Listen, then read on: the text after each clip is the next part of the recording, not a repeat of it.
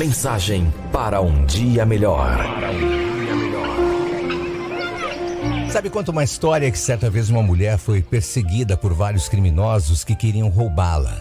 E em desespero, fugindo dos ladrões, entrou num casebre e se escondeu.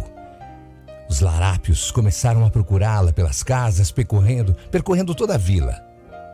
Desesperada e com medo daqueles ladrões, com medo que eles levassem suas economias de tanto tempo, ela ajoelhou-se no chão e fez uma oração: Deus, eu confio tanto em vós.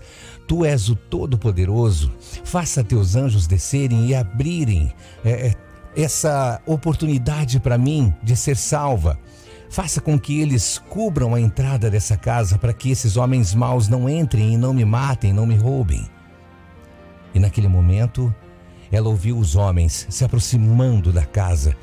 Olhou fixamente para a porta e viu uma pequena aranha que estava ali, de lá para cá, tecendo uma teia na entrada. A mulher juntou as mãos e fez uma outra oração, dessa vez ainda mais angustiada.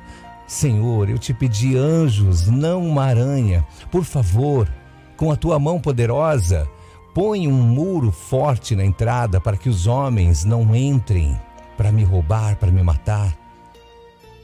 Foi aí que ela abriu os olhos, esperando ver a parede bloqueada, mas só viu a pequena aranha ainda tecendo a teia. Ela continuava de lá para cá. Os criminosos já estavam na casa ao lado e a mulher sentiu-se perdida, esperou pela morte. Quando os malfeitores estavam na frente do casebre onde ela estava, a aranha já havia coberto toda a entrada. Foi quando ela ouviu uma conversa entre eles. Ah, ela deve estar aqui em algum lugar. Vamos entrar nessa casa? E o outro disse: Não, não, desnecessário. Se ela tivesse entrado aí, não haveria toda essa teia de aranha na porta. Vamos continuar procurando. E foram embora. Sabe, gente, estamos acostumados a receber tudo instantaneamente sem o maior esforço.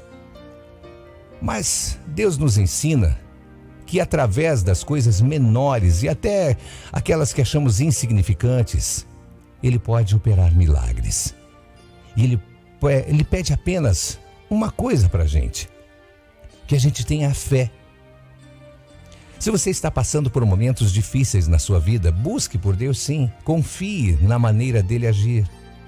Existem pessoas que pedem ajuda, mas na hora que o socorro vem, desprezam por não aceitarem a forma desse socorro. Feliz é aquele que tem fé e entende que Deus age da maneira dele, do jeito dele e que essa é sempre a melhor maneira. Está escrito: diga ao fraco que eu sou forte. Então tenha fé. Nós precisamos aprender a deixar de lado nossas falsas garantias e ousar confiar mais em Sua providência. Ninguém melhor do que Ele, Deus, nosso Senhor, sabe o que é melhor para nós. Então, reclama menos e confia mais. Tenha fé. Bom dia para você, que seja um dia maravilhoso. Procuro me sentir feliz. Sabe por quê? Porque eu não espero nada de ninguém. Expectativas sempre machucam. E a vida é curta, então ame sua vida